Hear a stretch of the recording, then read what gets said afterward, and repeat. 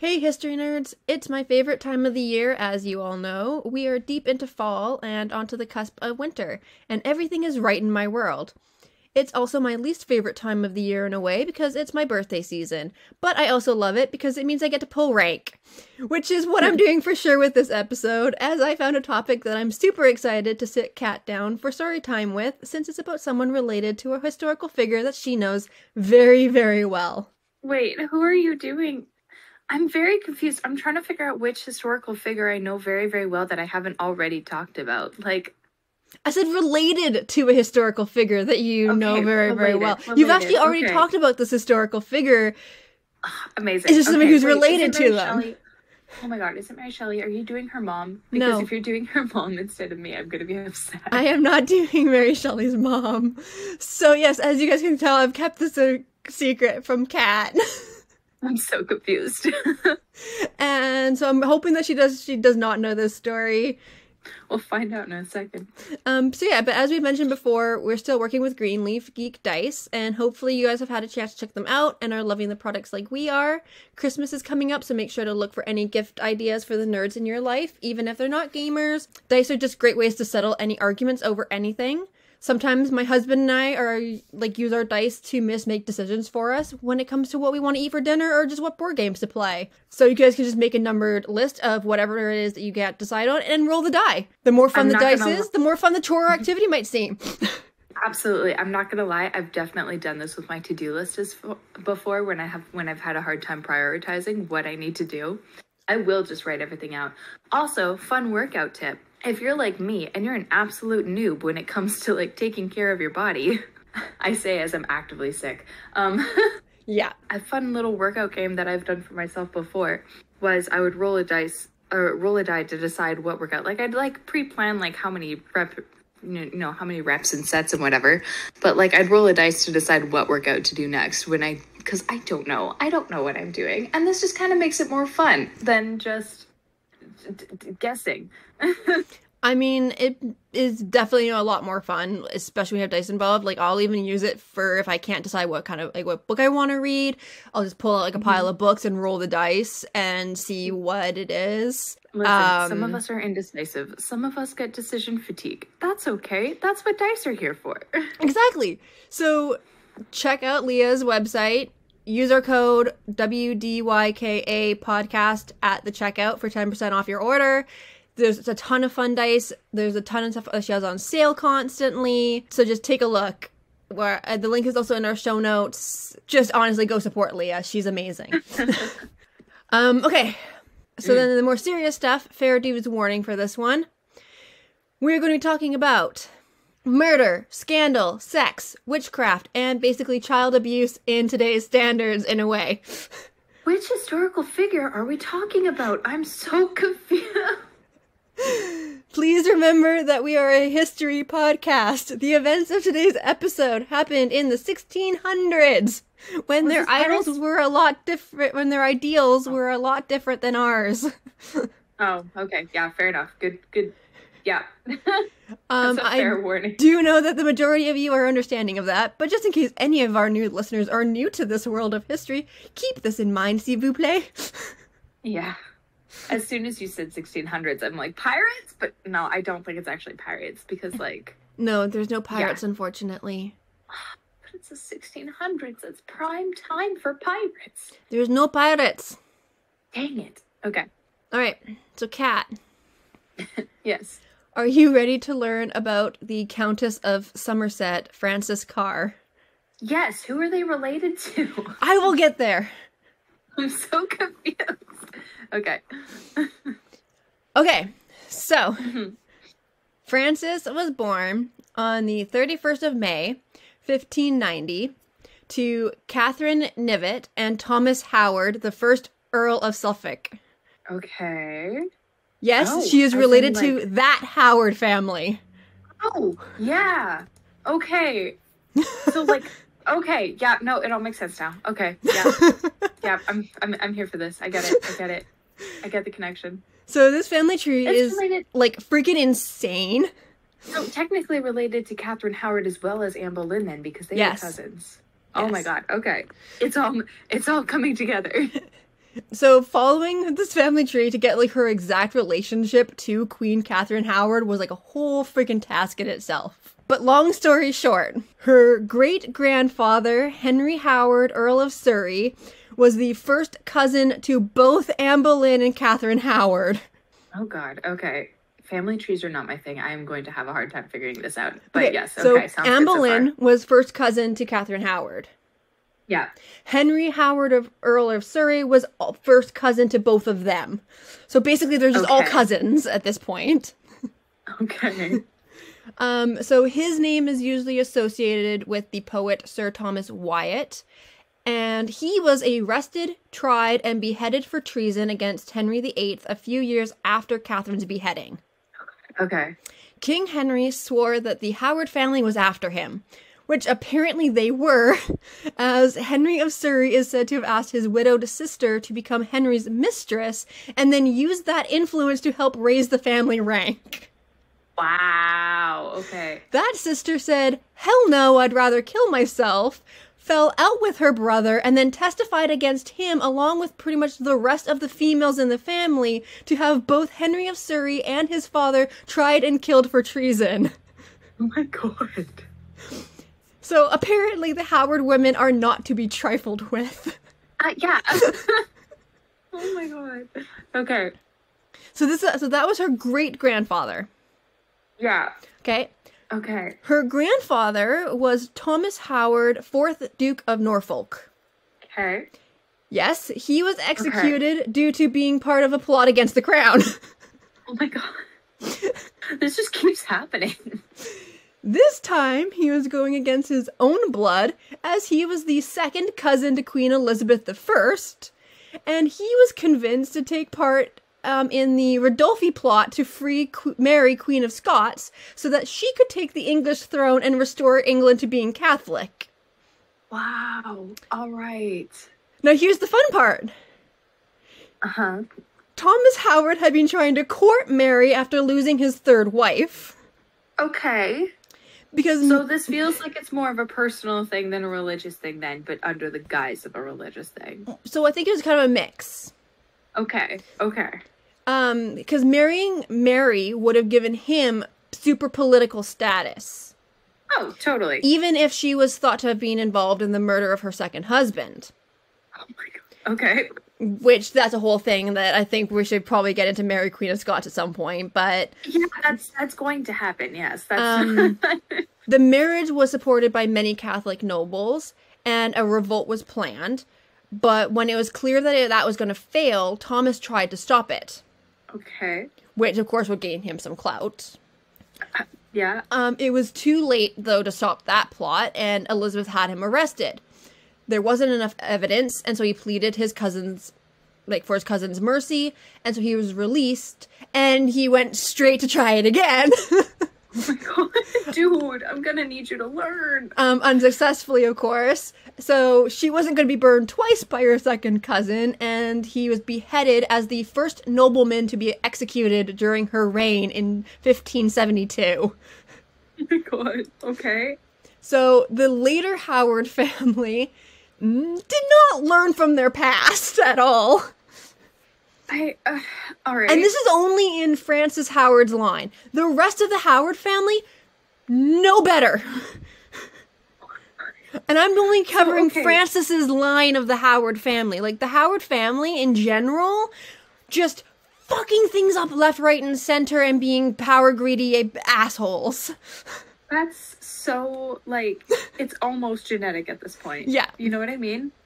Like it's almost like they can't help themselves. They cannot. That's so wild. Okay. Um, so I'm literally just covering Frances's line of just crazy bullshit that they're doing to keep their power.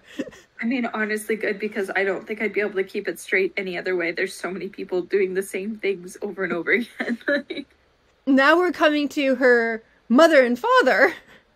Mm-hmm. So Catherine Knivet, or the Countess of Suffolk, as we shall call her to avoid confusion with the best Catherine, was the lady in waiting to the Queen Consort of England and of Denmark for a time. At first, she had a place in Queen Elizabeth's bedchamber and was deemed the keeper of the jewels in 1599, mm. keeping this title as she transferred to Anne of Denmark until 1608. That is a hell of a job title. Right? Just imagine writing on your resume, the keeper of the jewels. Like that's so like I love it. I love it so much. Um, so when Anne gave birth to Princess Sophia, um, the Countess of Suffolk was so highly regarded that she would have been her godmother if the poor child had not died in infancy. Mm. But she still wanted even more power.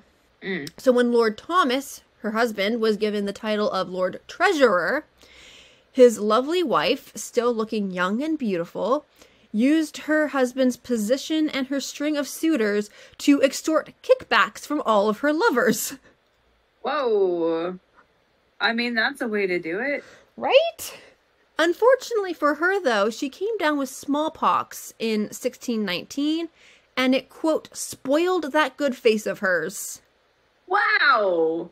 That's uh yeah, that is um holy, that is a way to think about a human being. That's Yeah. yikes. That's just yikes. Yeah. So her husband was also being caught at the same time for his own misuse of the royal treasury under his title. Oh no. So like, I mean, so he's embezzling, I'm assuming then. Pretty much, like yeah. something along those lines. Yeah. Pretty much an old timey embezzling.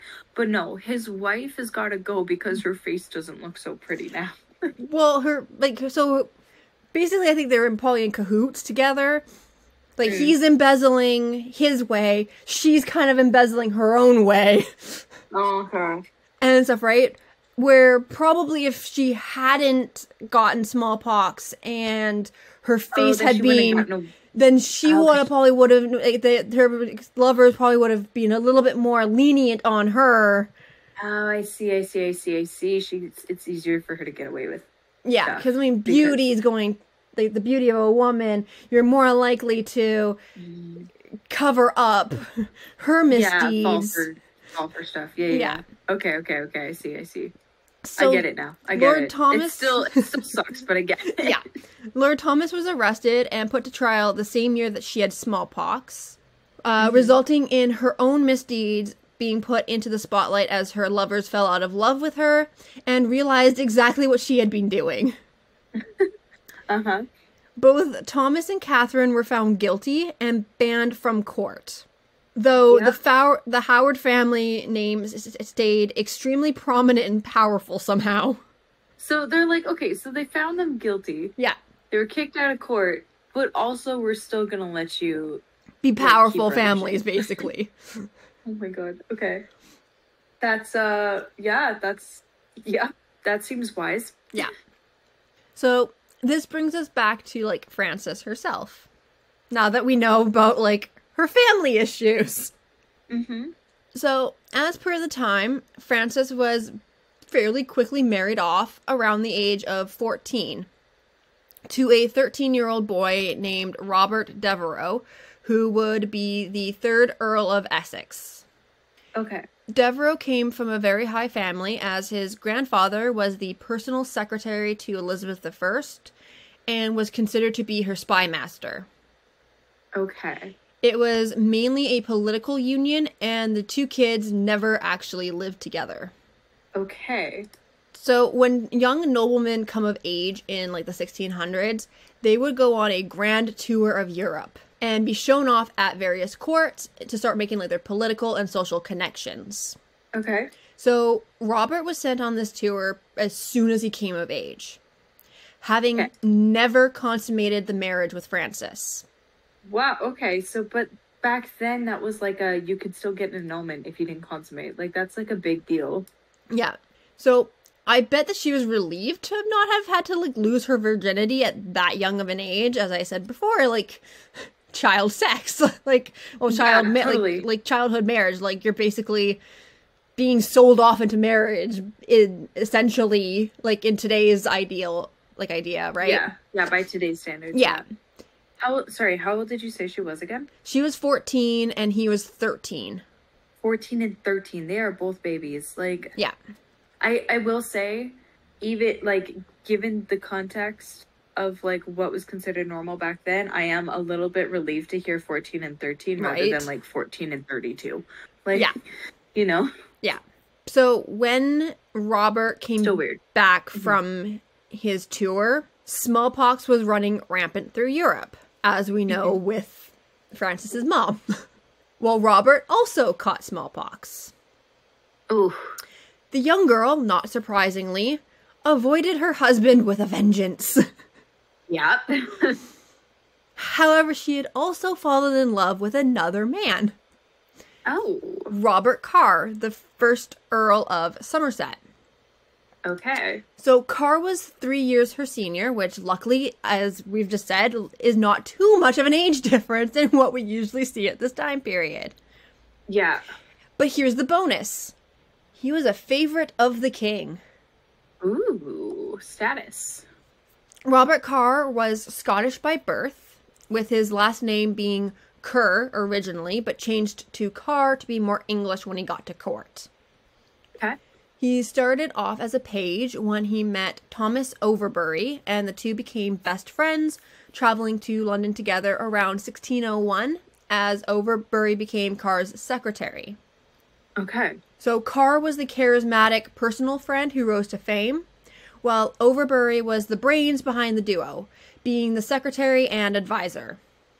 Okay. Um, it was in 1607 that Carr caught the attention of King James the Fourth slash First, Whoa. um, since he was the dude. fourth of Scotland slash first of England. Yeah. so we're just gonna The call him the fourth slash first. I'm gonna I'm gonna detract or I'm gonna sidetrack for a second. The King Jameses. Listen, I remember digging into it a little bit when I went down my uh, Macbeth for the Macbeth uh, episode. yeah. I was talking about like the Curse of Macbeth, and you were talking about like uh, cursed horror movies, and one of the King Jameses was in that story, like about surrounding like the the weird things about the original Macbeth and witchcraft and all that jazz. It is so confusing. Right. having a king be like the sixth and also like the third. Like it doesn't make sense. It makes zero friggin' sense. It doesn't make sense, and it's hard to follow. And it's like the ti like the timeline, the family tree gets so muddled so fast. Yeah. Yeah sorry, that was my tangent. Feel free to continue. But no, so yeah, it was in 1607 that he caught the attention of King James the Fourth slash First when he snapped his leg during a tilting match, which is basically a form of jousting. Yeah. Um, and the king was taken by the young man's talent that he showed before the accident. Basically, like, hey, you were so great before this happened. Unfortunately, you That I am now in love with you that, myself. You did great, kid. yeah. So soon, King James knighted Carr and even gave him a manor house using a legal loophole, as the owner had made a flaw on the will, which made the manor property of the king's upon his death. Whoa. Okay. So basically, king was That's like, "Oh, hey, look, this guy made a little flaw." bit of an issue, uh, like made like this one tiny error, and now it's mine, and so I give it to you, sir, good sir." It's kind of a huge flaw. Like that's And so this so, so- this man's so family literally was like fighting for this land like the whole time Carr had it. oh my god. That's so unfortunate. Like I'm sorry, but like I'm like great gift, but there's a bit of an issue with this gift because now I'm dealing with this shit. yeah, that's so like oh wow. Um, but no, so Carr's influence on the king grew to the point that he could even convince the king to dissolve parliament in order to stop them from attacking the king's Scottish favorites. Which I'm like, I mean, if you can convince the king to like literally just stop parliament in general, Yeah, I mean that's some good influence. That is some hefty influence. Yeah. That is, no that's no small deal. So in 1611, he was made Duke of Somerset and then Privy Councillor. The next year, King James's Secretary of State passed away, and Carr was given the duty of acting secretary. Oh. This put him in direct line of work with the Howard family and completely entangles him with them. Yeah. No kidding. Okay. But now let's just go back a little bit to just before this entanglement. Um, as Frances has just a tiny bit more story to tell. Because she's still married, remember, to her smallpox ridden young husband that she still hasn't had sex with. Right. Yes, that's still grounds for annulment. Okay. Um, so there is a tale that sh- at this time she has decided to seek the help of a woman who went by the name of Cunning Mary. Okay. The story is that Frances offered Mary a diamond ring in exchange for a solution to her marriage, but the woman took the ring and never followed through on the so called solution. Okay. The whole thing came out when Frances accused Cunning Mary of theft at the same time as her father and uncle started the process of getting her marriage annulled on the grounds of it being unconsummated. Oh, okay. Yeah, so that makes things very complicated. Luckily for Frances, no one took Cunning Mary's accusations seriously, as the old woman was just a folk healer against one of Britain's most powerful women. And the old woman actually had the diamond ring in her possession without any other proof of Frances's involvement in a plot to kill her husband. So she's just kind of making stuff up. So it seems. So it seems. So it seems. I mean, yeah, like so somehow this old woman had this diamond ring in her possession. And so this woman saying, well, no, like I was given this ring as payment basically mm-hmm. for a mm-hmm. poison to take care of this man. I yeah. decided not to give her a poison though. Yeah, okay. So I mean like from per, from everyone else's perspective, I mean no, like she's just making stuff up. Like, like from everyone no else's perspective, to, like, she's actually... making stuff up. But and then Frances is saying, "Well, no, this woman stole this ring from me." Yeah, yeah, yeah. Okay. Right? But at the same time, because at this time women could not make the annulment uh, like couldn't start the annulment process. The right. men had to do it so her father and uncle had to start this yeah. process for her. Oh her father or uncle could do it? Yeah. Okay. I thought you meant like the 13 year old husband had to do it and i was like i don't no. know that like no so her father and her uncle okay. started this process to be like hey look okay. we want this marriage annulled. They have not consummated. It's been years. Like, yeah, yeah, let's get this out of the way. Let's okay. get this out of the way. We would like to marry her off to somebody else. He's incompetent. okay. But let's keep this right, mi- like but let's keep this tale in mind for later. Okay. So, while this mini scandal was averted, a larger scandal was taking place with the annulment process getting started. Right. So, for a woman in the 1600s, it's an extreme violation of her privacy as she is pretty much laid bare for the entire court to ex- inspect her literal virginity claims in this particular case. That makes things uncomfortable. So, okay. Frances claimed that she made every attempt to be available to her husband, but that he never consummated the relationship and therefore it should be null and void and she should be free from the marriage. I mean, once again, he's 13. She's 14. Like, well, they're a little bit older now. Well, now, but, um, you know. But we already know this to not be fully true, since she clearly avoided him when he returned from his little tour due to the smallpox, even right. when he wasn't contagious. Okay. So right, that's right. Okay. Um, but it wasn't. But it was enough for the so next step to happen, with ten okay. matrons and two midwives fully examining her body finally deeming her hymen to be fully intact. Ugh. And that's such. Uh, okay. That's not an accurate way to tell anything, just for the no. record, so that every all of our listeners know that tells you nothing. That's it not tells you literally nothing about anyone. It like, tells you nothing. It, it means nothing. Just going like, horseback riding can be enough to break a hymen. in modern terms, riding a bike, putting in a tampon, like it yeah. doesn't like uh most girls don't have it by the time that they have sex for the first time like like it's so yeah. like or not like don't have it but most girls don't have it intact by the, by the yeah. first time that they have sex like that's just not an actual thing like and some uh, people like after having sex a few times can still have it intact because it just depends as yeah. to how thick and durable your particular hymen is Oh, exactly. Like it's so it's such an unreal like it's not like no doctor would actually no doctor worth their salt would actually be like would be okay with like telling someone for sure that someone is a virgin based on that. Like there's no. it's such a like ah uh, it's such a pet peeve of mine. Yeah. Every time it comes up, it's such a pet peeve. Well, It's just like people didn't, but people didn't know any better back then, and people were like dumb about that kind of stuff. So, like, well, and people just- are back we then were just as dumb as we are now. that's true. There with are rumors right, that kind flying around. As Frances is said to have been veiled through the whole process in order to keep her modesty intact. So Mm-hmm. the court immediately was like, another woman was substituted for her in the examination. Wow, what? So not only is it not good enough that they're using this bogus method to ensure that she's a virgin, but also even when this young girl has subjected herself to be inspected by, I'm assuming men, Well, 10 Grown adult matrons and two midwives, so it would be 12 women. so- yeah. Oh, thank God they actually let the women do it. Okay. Possibly, there, well, there might have been some, like, there's probably at least one man in there because credibility in that time. Totally. But like even still, this poor girl subjected herself to be inspected by like a room full of adults. And like and even then, all the other adults are like, no, this child probably is isn't a virgin and still probably had a body swap. Like Yeah. even then it's not good enough. Like what's the point? What is the point? Yep. Well, I'm they even so- started a little saying that was spread around the court. Oh no. Oh no. And it goes like this This dame was inspected, but fraud interjected, a maid of more perfection, whom the midwives did handle, while the knights held the candle. Oh, there was a clear inspection.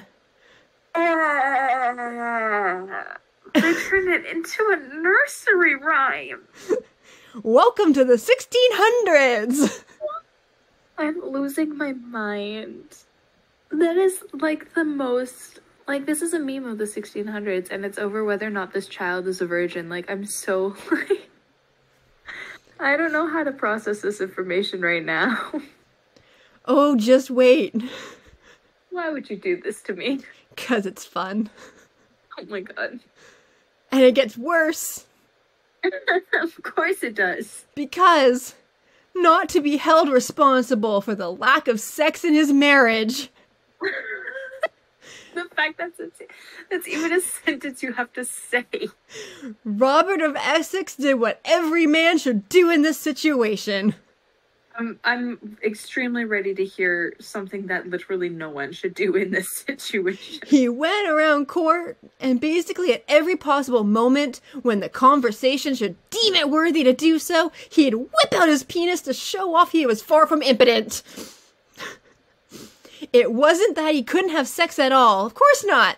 It was only Frances who made it impossible to have sex. Oh my god. And Kat is basically falling out of her chair at the moment laughing at this. He is literally said to have even got up on a table in front of his friends to whip it out How old is and he? show How old it. is he? How old is he at this point? How old is he? Like between like 16 and 18? Oh my god. And that's his best reaction. That is the most teenage boy shit I've ever heard. No, I can have sex. See, look, watch. Like, I don't need to see it, Timmy. You're okay. Oh my god. like, I can't. And people just let him. No one told him to stop. Like, I. No. Like, oh my god. Was everyone high that entire time? What is happening? Well, cuz then apparently when his Ah. friends and even the judge questioned him about it, he gave them the only possible reason. She was a curse and there was some sort of satanic involvement that had to be dealt with before literally anyone could possibly think about having sex with her. At one point, it was even suggested that Robert of Essex should go to Poland to ensure that any possible curse she might have put on him was removed. I'm gonna cry. I'm gonna cry. That's just I'm I'm not trying to make light of this. This is a really awful, horrible situation, but it's so fucking absurd. I can't. I can't. Like I don't know. Like Like, can you imagine being in this court during this and just like watching this guy just whipping it out and being like, I'm being cursed by this woman? the 16 year old child whips out his dick in front of everyone to prove that he can have sex and then goes on to say that he can't have sex with her because he she cursed him. And people just believe him after he's been flashing everybody for God knows how long. And Yeah. so just it couldn't just be, oh, we're not we don't have any chemistry. Oh, we're just not attracted to each other. It couldn't no. He had to jump straight to witchcraft Yeah.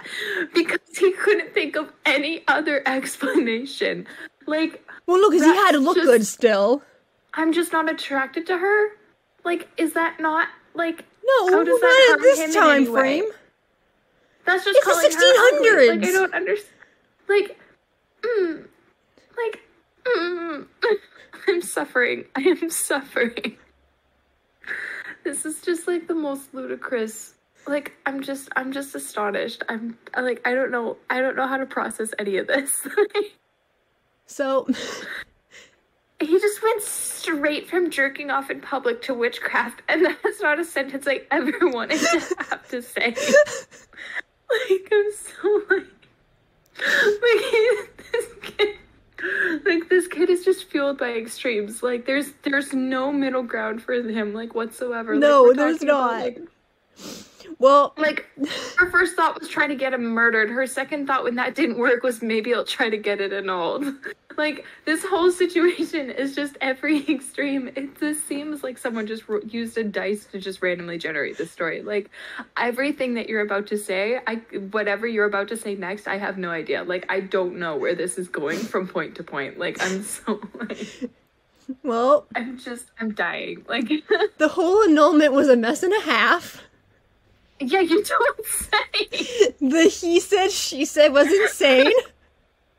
and it was on the verge of being refused by the regular laws. like on I don't I don't know like, what to expect from them either at this point to be honest. Like, But, like you kids are insane, figure your shit out. lest we forget, Frances and hmm. Robert Carr were lusting after each other. Right. And okay. Carr had one very, very, very influential man on his side. Right. King Okay. James stepped in and granted the annulment between Frances and Robert of Essex on September 25th, 1613. Just in time Literally, for is Frances, Frances- to be able to marry Robert Carr on December 26th of the same year. Literally, what is this? Like this sounds like a fan fiction gone horribly wrong. Like I don't understand. It's basically just a Wattpad story. it sounds like a Wattpad story. It sounds like Frances is your name. Like, you know what I mean? Like, I'm like, I can't. Like, like how did we get here? How did any of them think that any of this was a reasonable idea? Like, I'm just. Like, oh, I need more tea. Hang on. Well, now we have our happily ever after, right? How is. Okay. Yeah. Right? uh-huh, right? Yeah, we have our happily sure. ever after. They fought so hard for this, so They I did. hope this ends well for them. They did. But here's the thing Oh. Uh huh. someone close to Robert Carr really, really wasn't on board from the start. Sorry, our little friend Thomas Overbury was suspicious of the Howards from the start. Because they have a family history of trying to overthrow people and murder people and do all kinds of crazy shenanigans. So, like, Yeah. Yeah. you. Continue. So Overbury told his friend that he didn't think getting involved was a good idea.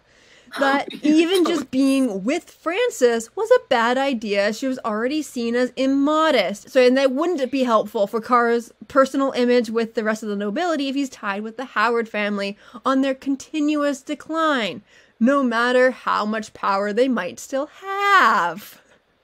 I. Uh huh. Which honestly, Overbury kind of smart. Kind of has a point. Kind of has a point in this climate. Yeah. just, yeah. yeah. just, just, just a little bit of a point there. just a, it, it is a bit of a point. It is a bit of a good point. And even like disregarding like family power and stuff, this bitch is crazy. She tried to have her husband killed. That's step one. Well, they didn't believe that. but Nobody believed still- that. But even still, but even still, okay. Carr, fully stupid in love, relayed Overbury's concerns to Frances, who, of course, relayed them to her family. that is the most like that is number one. What you are not supposed to do. Well, what did Like, I say someone's like- earlier?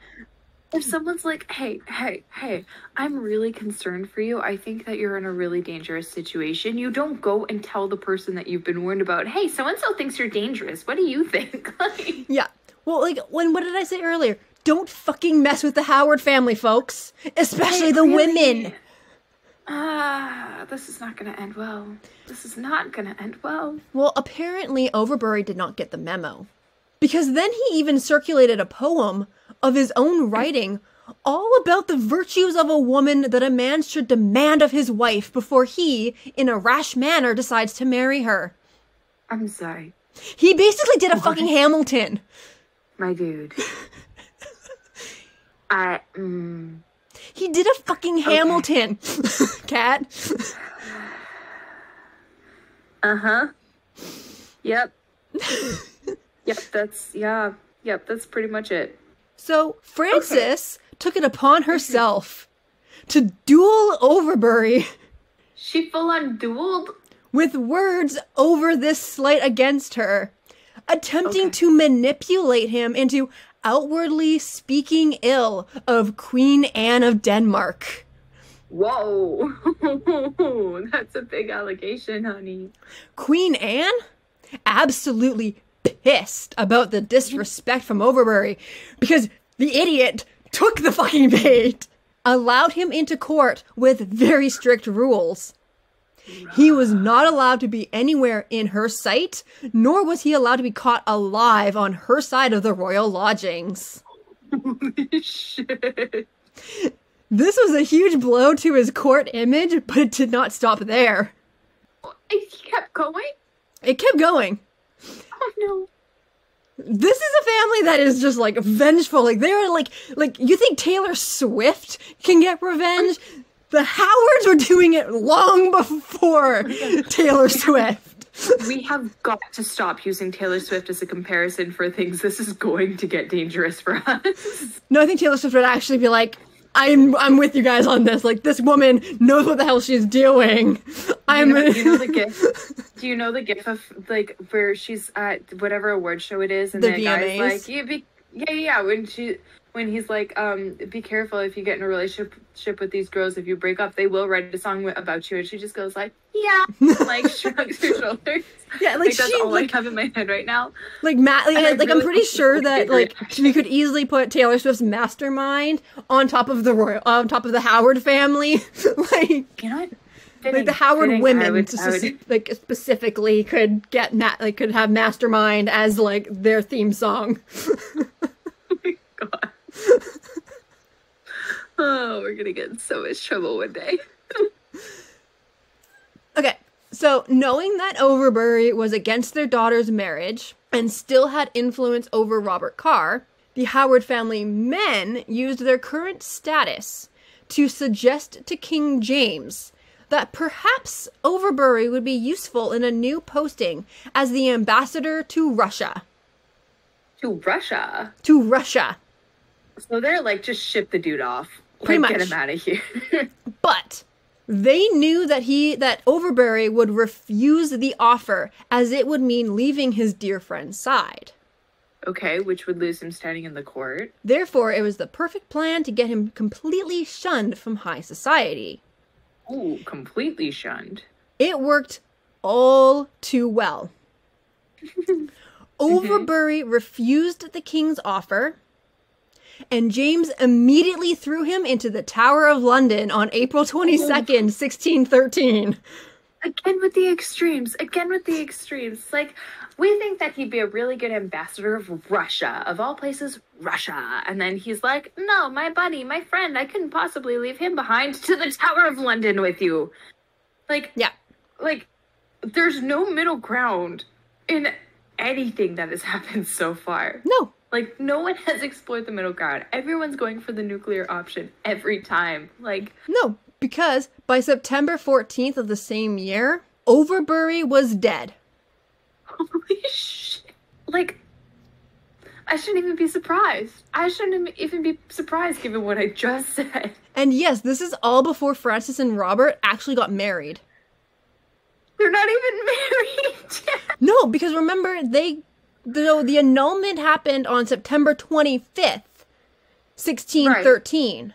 And then they got married December 6, 26th of the same of that year. Uh huh. September 14th is when Overbury was found dead. He was such a possible problem to their actual marriage that the Howard family were literally getting out of the way before the annulment was even completed. Holy shit. Like, they were like, just in case the annulment goes through. No, no, they were like, we're then. making sure this annulment goes through. This marriage will go through. You are a problem. You're out of here. Oh my god. Like, okay, so the couple gets married and they live a long and happy life because they work their asses to get off to get here. Well, People died along the way and they never split up and they were perfectly happy together, right? That's how this story ends, right? sure. Oh my god, no. Would you like to end here and that's how you believe that the story ends? It might be better for my peace of mind, but I do actually want to know the truth. Well, okay. Nobody questioned Overbury's death in the tower until 18 months later in the summer of 1615 when an assistant to an apothecary in Yorkshire made a made an astounding confession on their deathbed. They admitted it? The assistant said that they had been paid 20 pounds by the Countess of Somerset for poisons to murder Overbury with. The man got paid 20 pounds and was like, yeah, a person could die for this amount of money. For 20 pounds. Yeah. I mean, at that time, that was a fair amount of money. I don't care. As I will tell you, not next episode, but the episode after. 20, okay, but 20 pounds is like. 20 pounds is a like lot of money. Like a lot That is more, Like, so Like a couple grand? Like, that is, how much? well, okay, so 20 pounds would be about two years' wage for a librarian. So, like, what? Like a hundred thousand? yeah. A hundred thousand? Okay. Also, I love that you put it in reference of like a librarian salary. Yeah. um, yeah, so like, so like a hundred thousand dollars? Okay, that's a lot of money. 20 is a lot pounds would money. get you a eight volume Bible at that point. Okay, that's. mm, which is the a lot of equivalent of te- a year's salary for a librarian. Yeah, I mean, Well, two years salary for a librarian, technically. Right. So like if we're thinking along the terms of like this is the equivalent of like a 2 years 2 years wages paid for you paid to you in cash Yeah. all at once. That is kind of a life-changing amount of money. Yeah. Uh okay.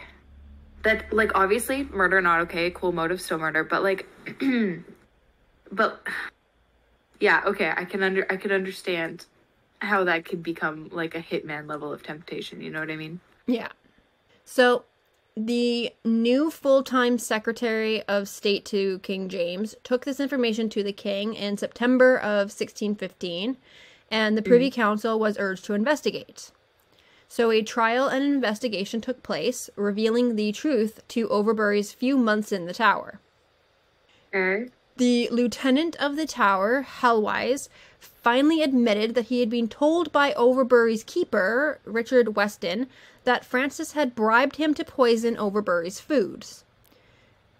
Hellwise had then started to intercept any foods that went to Overbury in order to avoid any more poisonings from happening. He had not taken enough. any action against her because of the family's influence and because her great uncle was his own patron. So his livelihood was literally at stake if he said anything. Whoa. Yeah, fair enough. So the killing dose was snuck in by Frances herself in a oh, smuggled God. enema laced with mercury chloride. Mercury Chloride. chloride. Those are two very deadly substances. And I love like I love hate that she's like, no, no, no. That I've got to get my own hands dirty with this one. Like she's so ready to kill people. Like Yeah. I'm like so an enema, was murdering her for those of you who don't know, is a liquid injected into the lower bowel by the arse.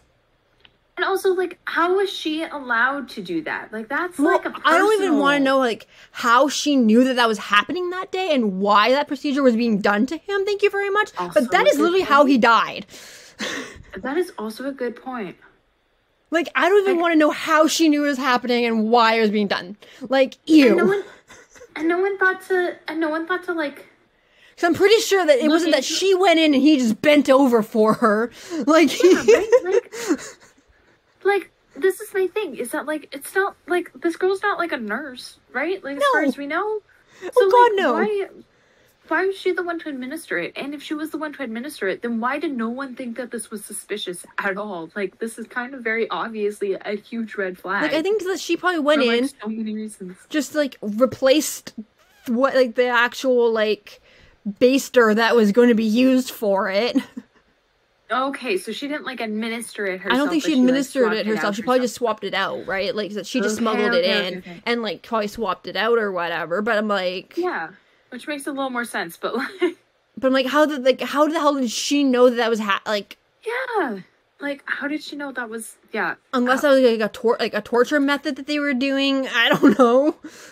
Well, I like that was like not an uncommon treatment to use enemas for things, but like, yeah, I just I have a lot of questions. I have a lot of questions. Like Like she seems to know like way too much. Yeah. So both Frances and Robert were arrested in October of 1615, with hmm. multiple others arrested for being accessories to the murder. Between October mm-hmm. and December of 1615, Helwyn and Weston were hung for being accomplices, along with Frances's waiting woman, Anne Turner, and the apothecary, James Franklin. The assistant was already dead because it was on his deathbed that he. So he just did it himself. he was like, I'm Yeah. already dead. Um, Yeah, fair enough. Frances Uh-huh. admitted her guilt to the murder, while Robert swore his innocence in the whole plot. He Okay. was found guilty for accessory to murder, however, as it was found out that he literally burned as many incriminating documents as possible and bribed people to cover up Frances's involvement. Ooh, yeah, that's at least accessory. Like, dude, if you didn't do that, then you could have gotten away with it. Yeah, like that seems yeah, but I mean, I mean they worked so hard to get them married. I don't think that they wanted to be split by prison time. Like, Right? Um, so at first they were both sentenced to death, but then due to their close relationships to the king, it was downgraded to life imprisonment. connections. Oh my god. Even with that, Frances received a pardon from King James in 1622 and was released from the tower. Robert's Seriously? pardon took a little longer than that, and he was released in 1624. Oh my god. So they basically just get away with it. Like, Yeah, oh my word. yeah. Um, Like all things considered, because like you know clearly someone just died in the tower, and like yeah, for not wanting to move to Russia, I might add. Pretty much. Like, yeah. Well, he had slighted the king. Like, you don't say no to the king. uh, I know, but like that ego though. Um, so while imprisoned, Frances and James had one daughter together. A- her, her name was Anne. Anne Okay. basically broke the Howard curse in a way by living a life free of major scandal. Oh, Good for Anne. Though her husband's family was against the marriage at first because of her family past. Yep. No one is surprised here. Luckily, though, King George I was for the marriage, and she lived happily with her husband and eight children. Okay. One of her sons, however, took back on the family trait of being an issue for the noble society. Of course. Of course. Like I don't like yeah, of course. I was Um, waiting for the other shoe to drop and you you yep, yep. you so he took Okay. part in the Rye House plot and ended up being beheaded for treason just one year before his mother's death. Oh. It's said that his treason and the shock of it all is what caused Anne's death, as her health almost immediately declined and never recovered. Wow. So, yes, your children can be the death of you, apparently. Quite literally, as a matter of fact. Yep. So Frances only lived for another 10 years after being released from the tower, passing at the age of 42. And then Robert passed 13 years later. Okay. Forty-two and thirteen years later. Those are there's some pretty decent old ages for Yeah. for that time period. That's not bad. Um so yeah, And that's the story of Frances Howard slash Frances Carr. Literally every sentence you said, like I didn't know what to expect. So like, that was just so well done. Well done. And now you can see why I was just like, I am so excited to just it, blow your yeah. fucking brain with this. Well, Ashley's been telling me for ages, like, Kat, we've got to do this. Kat, we've got to do this. I need to see your reaction to this story. Like, we've got to do this. And I've been like, okay, okay, okay. Like, what could possibly be like this? Like, you know, this this exciting. What could possibly have you this enthralled? Yeah, I get it now. like, just every piece of this was just wilder than the next. Like, I don't. right? One like oh, you broke me. honestly, like finding sources for Frances definitely required me to look her up by both names. Um, So I Mm. do recommend to any listeners if you want to do any more reading up on her, do the same. Yeah. Look her up Yeah. by as both Frances Howard and Frances Carr, C A R R. I do have a pile of links in the show notes to the various sources that I use, which are also great historical sources. Um, and yeah, and like hopefully I haven't ruined the Howards too much for you, Kat. But they're freaking Howard insane. She had nothing to do with this. She was Just part of this family. She was, family, that's insane. she was literally part of being used to gain. Being yeah, no, she was absolutely used to gain status, but that's not her fault. No, it's not Like, her fault. She was yeah. She was definitely young. Like, but if she had, ki- if she had, if she had innocent, and I would lived, imagine what she might have done in this family if she had lived longer. I- Okay, yeah, what? I mean, I, I'm actually now really curious as to like what mastermind shit she might have gotten up to. I I've got no idea, man. Like she also had a bit of a mind of her own too, though. Like That's what I'm meaning. Like Frances Yeah. definitely had a mind of her own. Oh, totally. I'm totally. like, a word duel, like, who would've people though? Like Like who would have thought think Cat Howard would have to literally like somehow get some like get some like get this guy to freaking diss the fucking queen out I loud in front of other people. like really, like I, Like yeah. she's cunning as fuck. Oh, absolutely, absolutely. Like she is completely unhinged. Don't get me wrong. Yeah, I don't know, man. I don't know. But don't worry, next episode I'm actually going to ruin one of my favorite historical people for everybody possibly. is it someone related to Anne Boleyn? No, Because that would have been really fitting. we're going even further back in history. Ooh. I Well, I mean, technically, Anne Boleyn was further back in history, but you know what I mean. Oh no. What about actually around the same time? But we're going I mean like a different, like a whole Howard. different country. Yeah, okay, fair enough. I meant further back than Cat Howard, but yeah. Yeah, whole different country. Actually, even around the same time as Cat Howard. Okay. Um, yeah, very diff- like very similar time frame to Cat Howard still.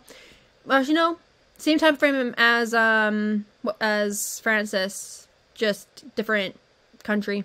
Okay. Cool. Yeah. All right. So yeah, we'll see you guys all next time on the weird side of history. Hopefully, slightly less weird next time. Anyway, Not bye. happening.